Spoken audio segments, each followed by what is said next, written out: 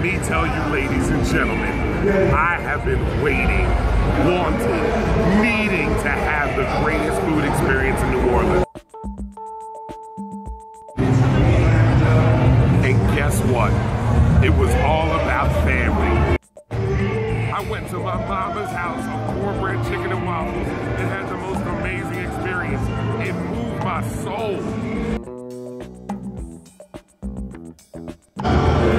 I could think about was my next bite, the definition of greatness, the standard by which excellence is measured.